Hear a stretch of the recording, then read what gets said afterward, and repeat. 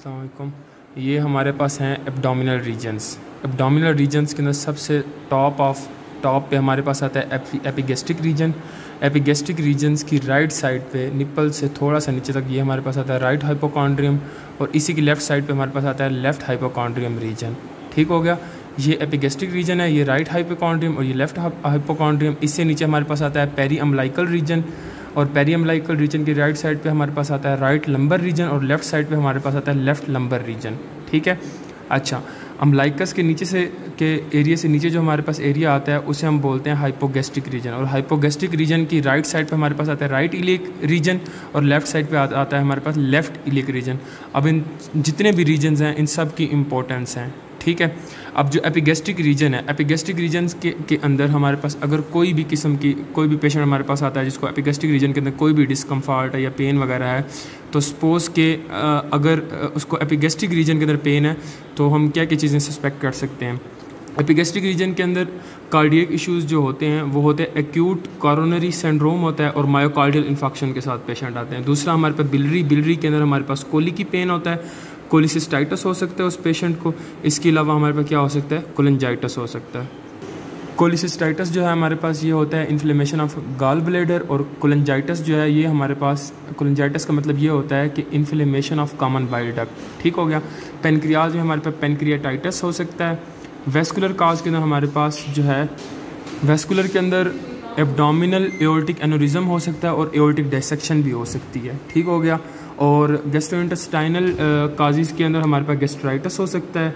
Early अपेंडिसाइटस का जो pen होता है, वो एपिगेस्टिक रीजन से ही स्टार्ट होता है, ठीक है? और इसके अलावा हमारे पास एपिगेस्टिक हर्निया हो सकता है, ठीक है? तो अगर हमारे पास एपिगेस्टिक रीजन के अंदर पेन होगा तो हम ये सस्पेक्ट कर सकते हैं कि इनमें से कोई भी डिज़ीज़ हमारे पास हो सकती है पेशेंट को। ठीक हो गया? इसके बाद जो नेक्स्ट हमारे पास आता है, वो हमारे पास आता है right hypochondriac region right hypochondr right hypochondrium के अंदर अगर हमें किसी भी किस्म का पेन होगा या पेशेंट हमारे पास प्रेजेंट करेगा तो उसको क्या क्या हो सकता है? पल्मोनरी के अंदर उसको लोअर लोब के अंदर निमोनिया हो सकता है या उसके लंग्स के अंदर किसी, उसके लंग्स के लोअर लोब के अंदर किसी भी किस्म का एम्बोलाई हो सकता है। बिलरी के अंदर हमारे पास कोलिक कोलिसिस्टाइटिस और कोलेंजाइटिस भी हो सकता है। उसका पेन यहाँ भी रेडिएट कर सकता है, यहाँ भी मतलब इस रीजन के अंदर पेन के साथ भी पेशेंट आ सकता है। हिपैटिक के अंदर हेपेटाइटिस का पेशेंट जो होगा, वो हमारे पास राइट राइट हाइपोकॉन्ड्रियम रीजन के अंदर पेन के साथ आएगा, ठीक है? और अगर हमारे लिवर के अंदर अपसेस बनी होगी, उसका पेन भी राइट हाइपोकॉन्ड्रियम रीजन के अंदर होगा। रीनल के अंदर हमारे पास कोलिक पेन पाइलोनेफ्राइटस और नेफ्रोलिथियासिस पाइलोनेफ्राइटिस जो होता है, इसके नाम, ये हमारे पास, इसको बोलते हैं कि इन्फ्लेमेशन ऑफ़ पेल्विस और किडनी और नेफ्रोलिथियासिस जो होता है, ये हमारे पास होता है inflammation of kidney due to stones इसके अलावा जीआई के अंदर जो होता है, वो ड्यूडनाइटस हो सकता है मीन अगर कोई ड्यूडनम की इन्फ्लेमेशन होगी या कोई भी मसला होगा ड्यूडनल अल्सर में इस रीजन के अंदर पेन होगा। इसके अलावा रेट्रोसिकल अपेंडिसाइटिस और नेक्स्ट हमारे पास जो पेनक्रियाज है पेनक्रियाटाइटिस आ सकता है। ये हमारे पास राइट हाइपोकॉन्ड्रियम रीजन इसके बाद हमारे पास आता है left hypochondrium region left hypochondriac region के अंदर कार्डियक के अंदर हमारे पास मायोकार्डियल इन्फेक्शन आ सकता है मायोकार्डाइटिस का पेन हो सकता है पेरिकार्डाइटिस का हो सकता है। मायोकार्डाइटिस मतलब वो होता है कि जो हार्ट के मसल्स हैं, उनका पेन होगा। मायोकार्डियल इन्फेक्शन के अंदर हार्ट की ब्लड सप्लाई सही नहीं जा रही और पेरिकॉन्ड्राइटिस के अंदर जो हार्ट की आउटर लेयर है, उसके पेन हो सकता है। पल्मनरी के अंदर हमारे पास लोअर लोब निमोनिया और एम्बोलाई और पेनक्रियाज में पेनक्रेटाइटिस स्प्लीन में स्प्लिनिक इन्फॉक्शन अगर स्प्लीन को प्रॉपर ब्लड की सप्लाई नहीं हो रही है स्प्लिनिक रप्चर जब होता है स्प्लीन जब रप्चर हो जाती है हमारी तो उसका पेन जो हमारे पास होता है, वो लेफ़्ट हाइपोकॉन्ट्रिक रीजन के अंदर होता है। इसके अलावा गेस्ट्रोइंटेस्टाइनल में गेस्ट्राइटिस हो सकता है रीनल में कोलिक पाइलोनेफ्राइटिस और नेफ्रोलिथियासिस हो सकता है। इसके बाद हम आते हैं पेरी अम्लाइकल रीजन के अंदर। पेरी अम्लाइकल रीजन के अंदर के अंदर जब हमारे पास कोई पेशेंट प्रेजेंट करेगा, कि उसके पेरी पेरी अम्लाइकल रीजन के अंदर पेन है तो हम क्या क्या चीज़ें सस्पेक्ट कर सकते हैं? वेस्कुलर के अंदर हमारे पास जो है एब्डोमिनल एओल्टिक एनोरिज्म हो सकता है या एओल्टिक डायसेक्शन हो सकती है। जीआई के अंदर अर्ली अपेंडिसाइटिस और इंटेस्टाइनल ऑब्स्ट्रक्शन या गैस्ट्रो और गैस्ट्रो अब अर्ली अपेंडिसाइटिस का जो पेन है, वो हमारे पास दो जगहों में प्रेजेंट करता है। एक एपिगेस्टिक रीजन के अंदर प्रेजेंट करता है और दूसरा जो है हमारे पास कहाँ करता है? पेरी अम्बलाइकल रीजन के अंदर पेन एग्जिस्ट करता है। मीन जब भी पेशेंट को अर्ली अपेंडिसाइटिस पेन होगा तो वो इन दो रीजन्स के होगा, के अंदर होगा। उसके बाद जो है ये पेन राइट इलियक या ये जो है राइट लेफ़्ट या ये राइट लंबर रीजन के अंदर होगा, ठीक है? लेकिन अर्ली यहाँ से स्टार्ट होगा एपिगेस्टिक और पेरियम लाइकल रीजन से। इसके बाद हमारे पास आता है राइट लंबर रीजन के अंदर अगर अगर पेशेंट पेन के साथ प्रेजेंट कर सकता है तो हम क्या क्या चीज़ें सस्पेक्ट कर सकते हैं। राइट लंबर रीजन के अंदर वही वेस्कुलर के अंदर एब्डोमिनल एओर्टिक एनोरिज्म डायसेक्शन हो सकती है और मिजेंटेरिक स्कीम है मिजेंट्री जो होती है, ये बेसिकली ब्लड सप्लाई होती है टूवर्ड द इंटेस्टाइन अगर किसी भी मतलब जो ये ब्लड वेसल है जो हम, हमारी इंटेस्टाइंस को सप्लाई करिए अगर उसके, उन, उनके अंदर से ब्लड प्रॉपरली नहीं जाएगा, या वहाँ पे ब्लड नहीं जाएगा और वहाँ पे स्कीमिया हो जाएगा तो इसलिए इसको बोलते हैं मिजेंट्रिक स्कीमिया का जो पेन होता है, वो हमारे पास राइट लंबर रीजन के अंदर होता है, ठीक है? इसके बाद अदर्स के अंदर हमारे पास सॉस अपसेस सॉस मसल के अंदर अगर अपसेस होगी तो वो भी इसी रीजन के अंदर पेन के साथ प्रेजेंट करेगी।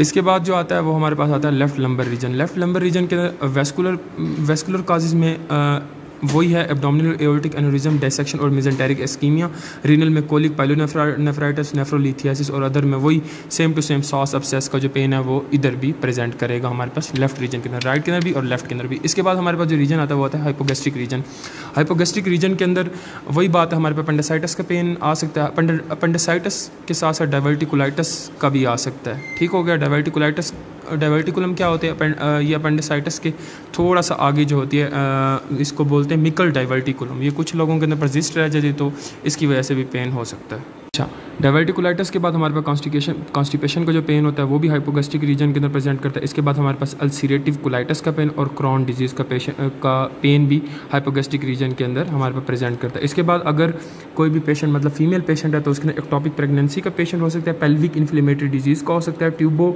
ओवेरियन किसी भी किस्म की कोई भी ट्यूबो ओवेरियन पैथोलॉजी होगी वो पेन यहाँ प्रेजेंट करेगा और एंडोमेट्रियोसिस का पेन भी यहाँ प्रेजेंट करेगा।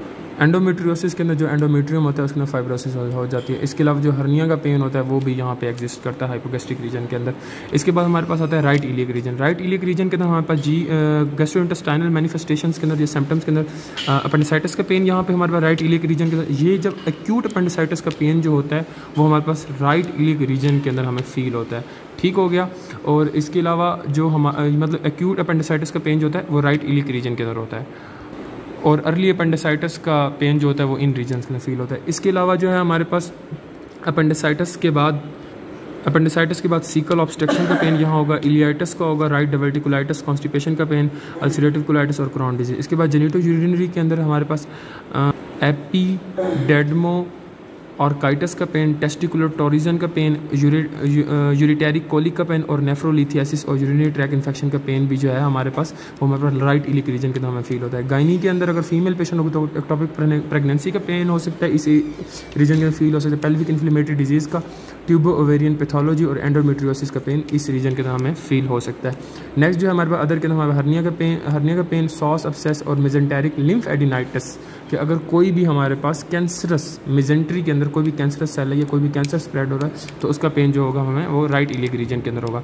नेक्स्ट और हमारे पास जो लास्ट आता है, वो होता है left iliac region left iliac region के अंदर जो गैस्ट्रो इंटेस्टाइन मैनिफेस्टेशन मतलब कोई भी डिज़ीज़ जो हमें शो हो सकती है अंदर सीकल ऑब्स्ट्रक्शन हो सकती है लेफ़्ट डाइवर्टिकुलाइटिस हो सकता है कॉन्स्टिपेशन हो सकती है अल्सीरेटिव कुलाइटिस हो सकता है और क्रॉन डिज़ीज़ का पेशेंट हो सकता है। और जेनिटो यूरिनरी के अंदर हमारे पास एपीडेडमो और काइटस जो हमने उधर देखा था, इस जगह पे, वही एपिडेडमो और काइटस का पेन हो सकता है टेस्टिकुलर टोरिजन हो सकती है यूरिटेरिक कोलिक हो सकता है नेफ्रोलिथियासिस हो सकती है यूरिनरी ट्रैक इन्फेक्शन हो सकता है एक्टॉपिक प्रेगनेंसी और पेल्विक इन्फ्लेमेटरी डिज़ीज़ और गाइनिकोलॉजिकल अगर फीमेल पेशेंट है तो ट्यूबो ओवेरियन कोई भी ट्यूबो ओवेरियन पैथोलॉजी होगी तो उसका पेन यहाँ फील होगा एंडोमेट्रियोसिस और अदर के अंदर हमारे पास हर्निया का पेन सॉस अपसेस अगर होगी और मिजेंटेरिक लिम्फ एडिनाइटिस का पेन हमें यहाँ पे फील हो सकता है. Thank you